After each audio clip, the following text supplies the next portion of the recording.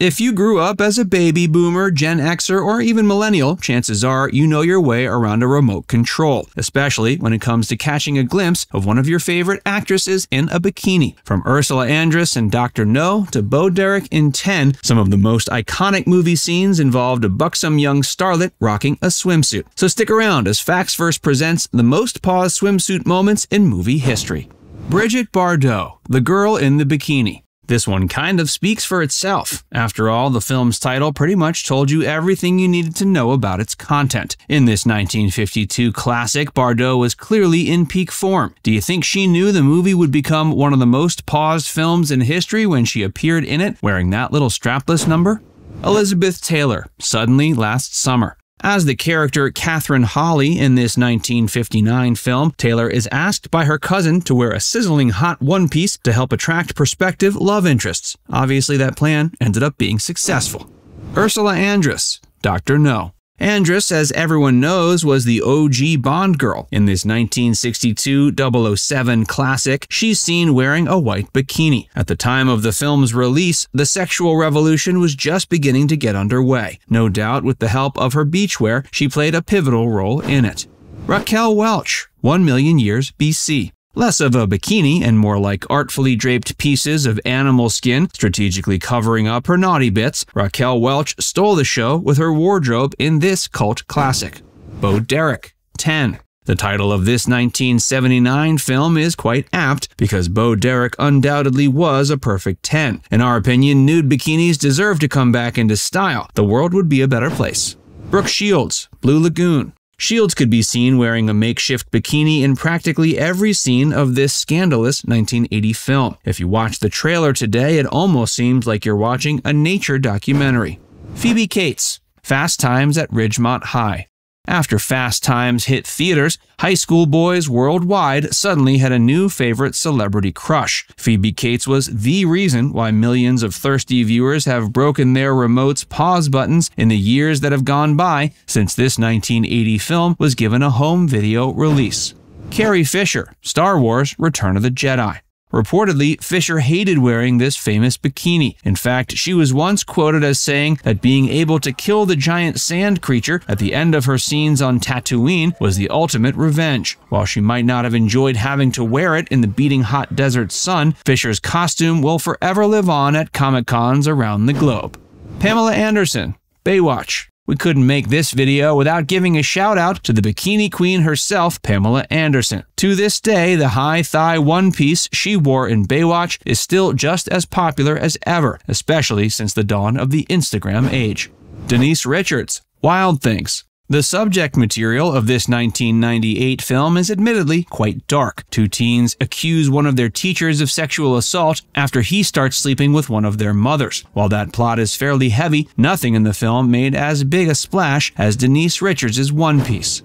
Halle Berry, Die Another Day. Don't act surprised that another Bond film made this list, and spoiler, it won't be the last. Everyone knows that every 007 flick featured at least one swimsuit scene, and honestly, we think Berry gave Ursula Andress a run for her money when she recreated her famous beach scene wearing a very similar bikini. Angelina Jolie, Lara Croft, Tomb Raider. It's crazy to think this video game inspired movie was made more than two decades ago. While the film was only mediocre, it's arguably Jolie's now famous jet ski scene that made it a box office smash. Marilyn Monroe, How to Marry a Millionaire. This 1953 comedy had a lot going for it. Many of the films featured in this video are of little interest to anyone outside of the swimwear they featured, but this one was in a league of its own. Marilyn Monroe donned a red, form-fitting one-piece swimsuit that featured a plunging bust line, and like always, she looked dazzling in it. Deborah Kerr, From Here to Eternity. In this 1953 romantic drama war film directed by Fred Zinnemann, Deborah Kerr is seen wearing a halter top swimsuit featuring a cinch at the waist. She shared the screen with Burt Lancaster, who rocked a square cut pair of trunks. Jane Russell, The French Line. In 1953's The French Line, Jane Russell portrays an oil baroness who ends up going incognito to find a lover who appreciates her for herself rather than her wealth. At least in this case, incognito meant cutouts and spangles. Trina Parks, Diamonds Are Forever. Well, wouldn't you know, another Bond girl is making an appearance. Parks, as the athletic guard Thumper, wore a dramatic bright yellow suit while facing off with Sean Connery. She rounded her look off with arm and neck bands, a string cinching her waist, and elegant hoop earrings.